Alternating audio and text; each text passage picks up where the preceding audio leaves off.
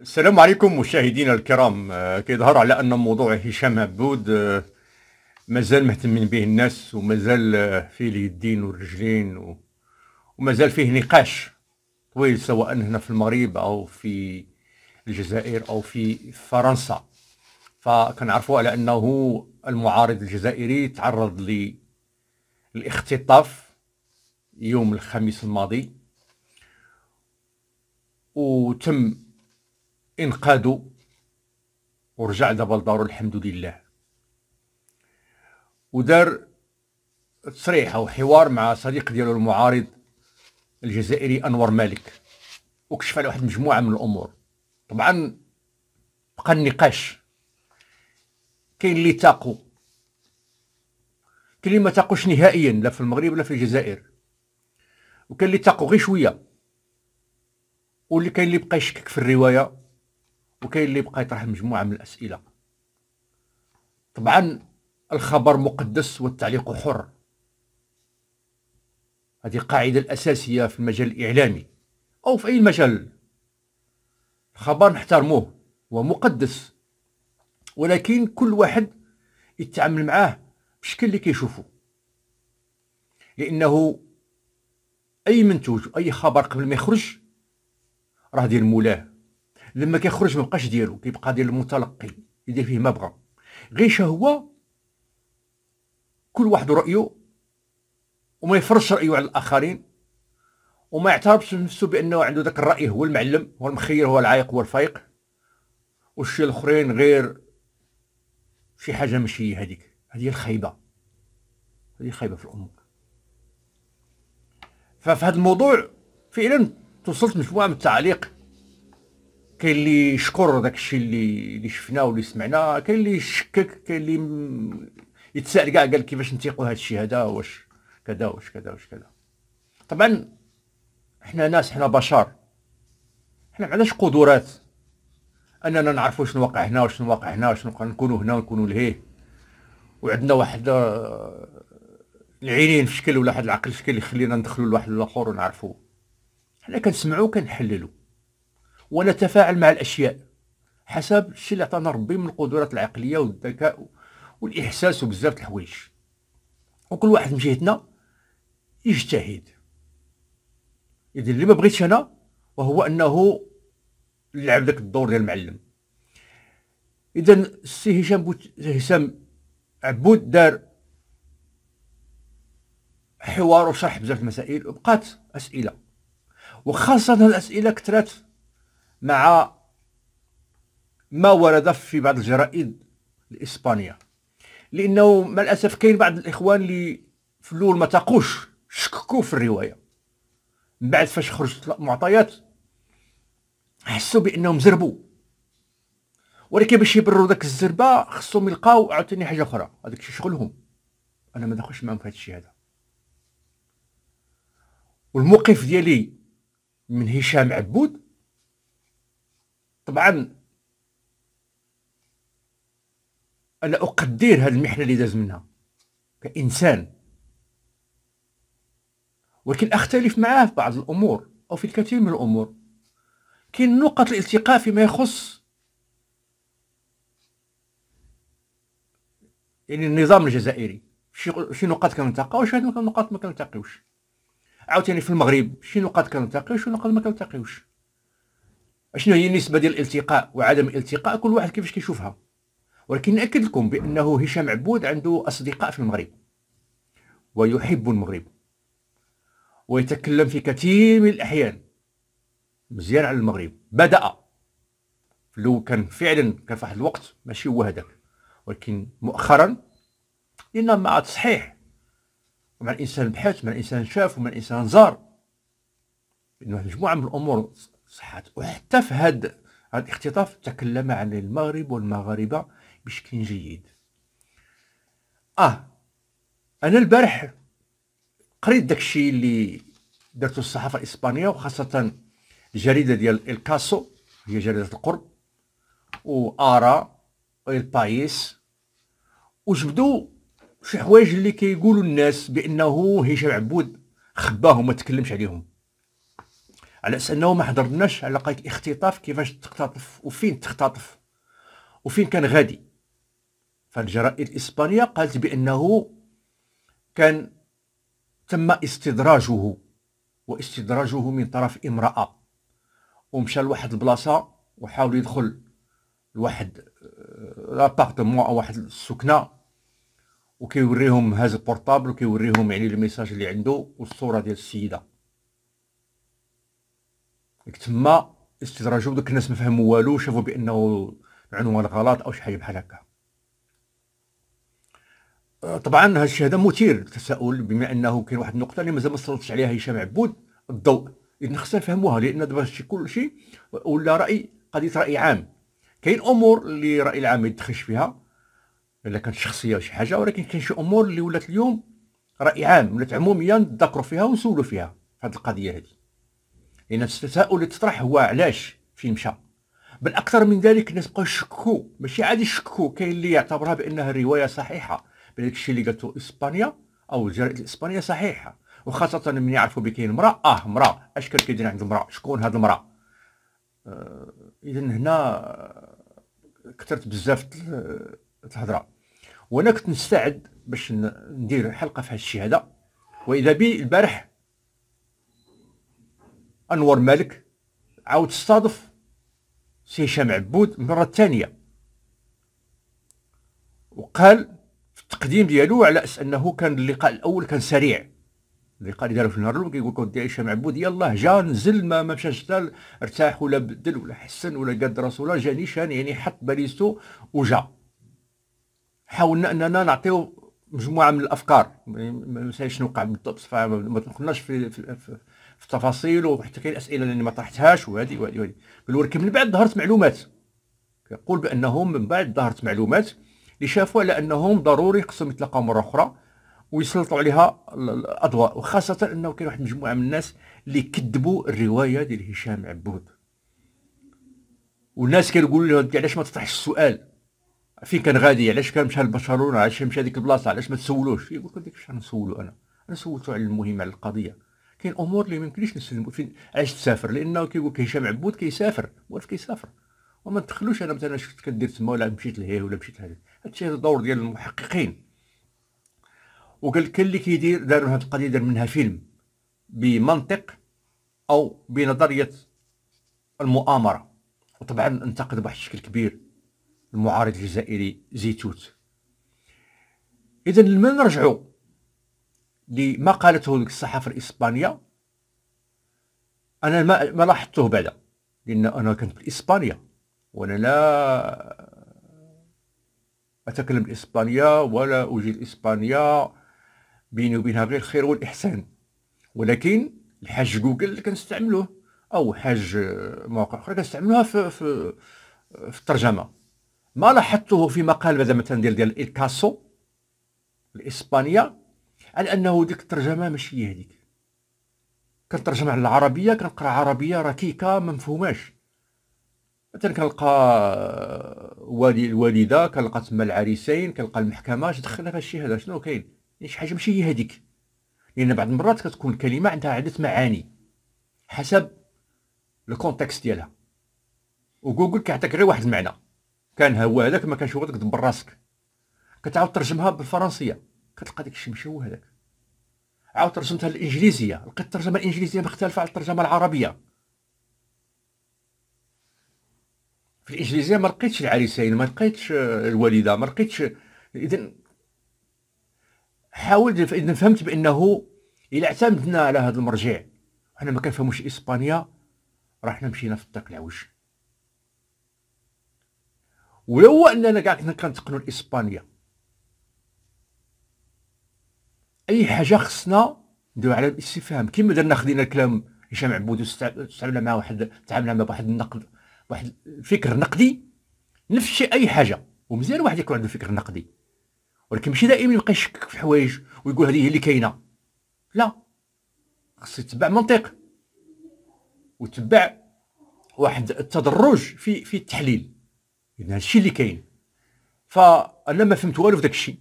وكنت كنوجد حلقه باش نتكلم على هاد الأمور وجات هذا الحوار الثاني ديال أنور مالك مع هشام عبود. اذا بالنسبة لي أقف نفس المسافة مع كل واحد مع كل مصدر. وغادي نحاول ما أمكن غادي نجيب لكم يعني شنو قال هشام عبود أو غنحاول نجاوب على يعني نقلب على الأجوبة ديال الأسئلة اللي طرحات وخاصة المساله ديال الاستدراج. فطرحها علي أنور مالك قالوا كيفاش راه قالوا بأن تم استدراجك وأن كنت اتصال مع امرأة. وطبعا هشام عبود الحوايج ما كيعجبوهش. كيضحك فيهم وكينتقدهم بواحد الشيء بشدة. قال ما كانش استدراج نهائيا. ومازال ما زادش. مازال مازال ما ولداتوش يماه. هذا اللي غادي يستدرجني. وأي حاجة كنديرها كتكون بخوا بخبار الزوجة ديالي وهذه رسالة. قالوا أنا مشيت لذاك المكان باش نستأجر فين نبات وفي عندك داك ما غير مناسب. ومشيت لفندق آخر تقول السميه ديالو ولقى بأنه ثمن غالي. قلت عاود رجع للمنطقة لديك البلاصة. وتما تم اختطافه. جات السيارة واختطفاتو اختطفوه بعنف. يعني ما قدرش يقاوم ودخلوه للطوموبيل. ديك الساعة طاحت ليه الساعة وطاح ليه البورطابل وتهرست ليه الباليزه ديالو. والطوموبيل يعني مشات بسرعة. والطوموبيل كانت غير مرقمه بمعنى أنه عمل ديال المافيا عمل ديال الأفلام. انطلقت بسرعة. وملي كنرجعوا لديك البلاصة فين وقعت هذا كنلقاو بأنه هذاك الحي هادئ. يعني كما كنقول حنا البلايص كاع ماشي غير تخون فيها تقتل فيها كاع وما كانش اللي يردك البال. حي هادئ. واش هذيك هذوك الناس المختطفين اختاروا ديك البلاصة؟ بعناية أو جات صدفة. المهم أنه كما كنقول حنايا l'occasion fait le voleur. الفرصة كتصنع الشفار. فداوه في واحد المكان اللي خاوي. ولكن رغم داك الشيء شافوه بعض الناس. لأن يعني كاين اللي شافوا من سرجم وشافوا بأنه راه مخطفوه ومنهم واحد كيقولوا بأن البشرة ديالو داكنه وأكيد أنهم كي يشيروا للسينيغالي. وخبروا الشرطة وجات الشرطة المحلية عندها اسم خاص جات سمعوا وشافوا كذا. هذيك الزنقه دابا كنشوفوا الصور ديالها ديك المكان كنشوفوا الصور ديالو. ونزيد نأكد على أنه اليوتيوبر عثمان برشلونة اللي عايشوا في برشلونة مشى لعين المكان باش يتأكد بداك المكان وسول الناس وأكدوا لي بأنه فعلا عمليه الاختطاف وقعت. وكيقول بأنه فعلا عملية ديال الاختطاف وقعت وهذا اذا الخبر صحيح. يعني العملية ديال الاختطاف صحيحة 100% وعندنا رسالة للمعارض الجزائري هشام عبود. هل ما كان في تم الاختطاف إذا كنت ما عقلتيش ولا كنت يعني عملوا لك آه، شي حاجة على على راسك فهذا هو المكان. خليك معايا أدم خليك معايا باش ندوزوهم حدا الباب وحدا الشارع فين تمت عملية الاختطاف. يلا على بركة الله. وريهم بعدا. شو النمره 24 ياك؟ ودابا تاكد منها مزيان ها هي النمرة. هنا هنا هنا بالضبط. ها هي النمرة 24 ها هي وريها لهم. شو؟ ها هي إذا هشام عبود تطرق في الحوار الثاني وفي الحلقة الثانية لواحد النقاط كثيره اللي خصنا حنا ناخذوها بعين الاعتبار. إذا هذه المسألة كيقول لك ما كاينش فيها حتى شي حاجة لا استدراج ولا هذه ولا هذه ما بالنسبة للقضيه ديال تدخل المخابرات المغربية كيزيد ياكد بأن المخابرات المغربية لم تتدخل. وكيزيد كيقول بأنه تم إنقاذه عن طريق الصدفة. لكن فعلا داك الناس تشكاو وعلموا البوليس ولكن هذاك ال Guardia Civil اللي جاو جاو الصدفة على قضية واحدة أخرى ديال المخدرات. كيقول لك هما اعترفوا له بداك الشيء. اذا واش حنا كنا معاه باش نكذبوا داك الشيء واش حنا Guardia Civil باش نكذبوا داك الشيء هو كيقول وكيعطي قرائن على حسب الشيء اللي راه عارفه هو واللي فاهمه هو. اذا حنا ما كناش حنا غادي نثيقوا ما يمكنش حنا ما نثيقوش أو نكذبوا أو أو أو أو. كاين شي أمور فعلا كاين شي نقاط اللي كنقولوا آه شي حاجة ما فهماش أنا. آه هذه ما كاملاش هذه غامضة. بصح نقولوا لا ما كايناش. لا ما خونوهش. لا ما هزوهش لا ما اختطفوهش. لا لا لا غوارديا سيفي كان جاي كان جاي عليه كانوا متبعينه كذا وكذا. ما يمكنش نقول شي حاجة اللي ما ما تقالش وما تقالش حتى رسميا. اذا المعلومات اللي عندنا والشيء اللي كيقولوا هو والعهدة على الراوي على أنه هو كيأكد بأنه هذاك الشيء جا صدفة. وزيادة على ذلك وجه واحد الانتقادات للمعارضين واحد مجموعة من المعارضين ماشي كاع المعارضين وخاصة زيتوت. وقال فيه كلام كثير. ولكن ما جبتش المؤثرين المغاربة بشيء. ولكن ممكن أنه داك الشيء يكون يعني مبطن. وتكون واحد المساله مهمة قال على كاع دوك الناس اللي هضروا حلوا فمهم وكيقولوا بأننا عندنا معلومات.